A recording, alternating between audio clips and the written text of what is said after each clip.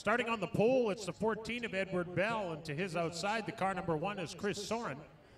Inside row two, the 35W is Wally Butler, and to his outside, the 11 is Dexter, Dexter rather, Dexter Bergson. Inside row three is Eric Clausen in the 31, and his running mate on row three is the four of Eric Johnson. On the back, it's Chris Unrau. I'm going to turn things over to Mr. Lightning Sprint right now for the race action.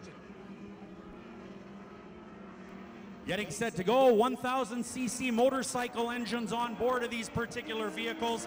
These really fly.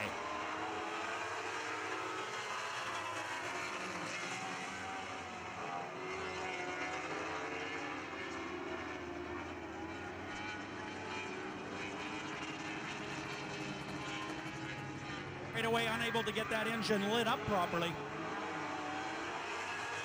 Your leader, the direct buy number one of Chris Soren. That is a Henchcraft chassis. Second spot, the 11 is Dexter DeVerkston. Hey, we want to say thanks to Phil Rempel from Sinex for waving the green flag for that heat race. It's going right now. Thank you.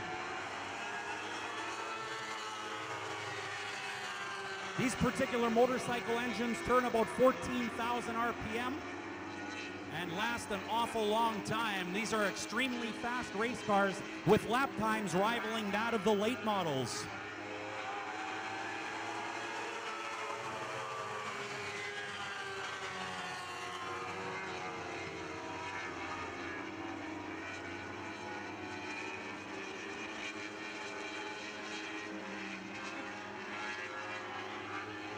Take a look at the top side of the racetrack. That car is flying. That's how fast it's going. The 27 car out of the Winkler area, Chris Unrau has the Precision Land Solutions machine just a cooking. Here comes the 35W on the high side around to take a look around the number one of Chris Soren.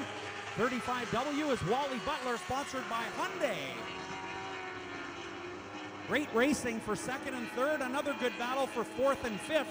Edward Bell in the Bell's Property Services 14 is currently fourth.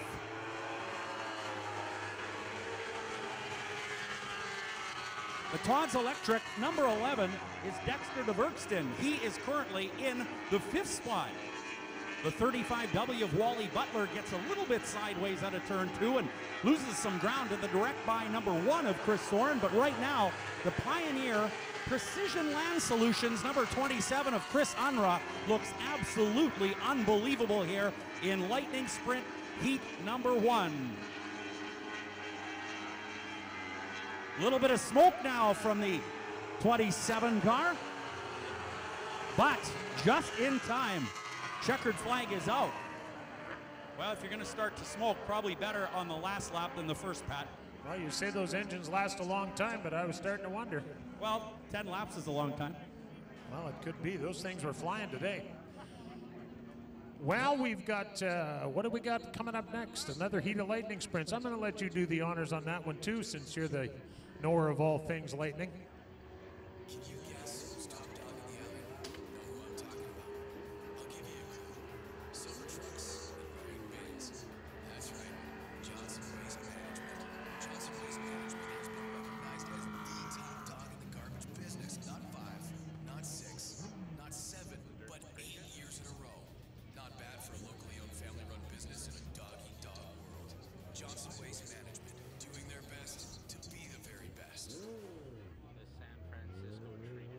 All right, Lightning Sprint Heat number two coming up shortly right here at Red River Co-op Speedway. Many thanks going out to Transtech Industries. Transtech Industries is home to one of Canada's largest automotive powertrain remanufacturing centers. They provide a superior level of service that exceeds the industry standard. All right, here's your lineup. Multi-time champion on the pole. This is the 2R of Roland Bernard. Outside the 13T is Alan Trasinski. Row two inside the three is Al Giesbrecht. Outside the 33 is Murray Temple. Murray also races a full-size sprint car. Inside row three, the 43, Robert Livingstone, and the 10 is Alex Trasinski.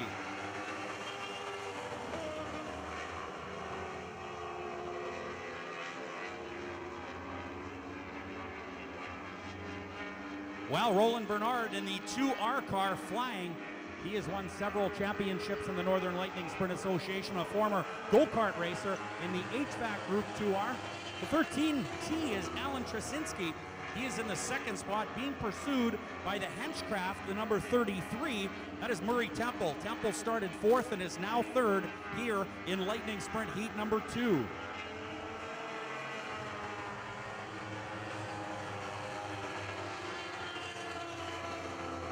Now these engines must remain factory stock. They produce about 185 horsepower in a car that weighs about 750 pounds, so a great power to weight ratio. They actually use a motorcycle drive chain rather than a drive shaft.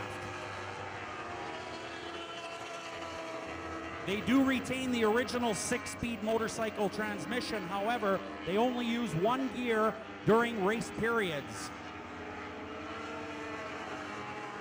Generally, they will start off in second gear out of turn four when the green flag drops. They will shift up to third gear, and then it's hammer down for the rest of the race. Roland Bernard in the HVAC group 2R Simply Flying. He is also sponsored by Ward Trucking.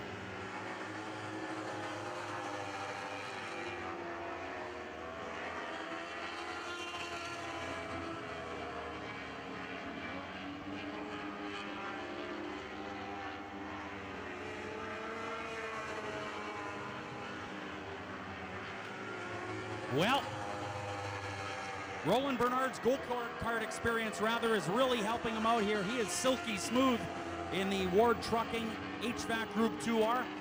Keeping that car very nice and steady through the corners is Roland Bernard as he takes the white flag. The 33 of Murray Temple rolling up on the back of the 13 car now of Alan Trasinski. Good race for second and third place. Your leader already coming out of turn four, and he'll take the checkered flag. That'll do it for the Temple 2R. Second spot goes to the 13T. That is Alan Trasinski. Third is Murray Temple in the 33 car.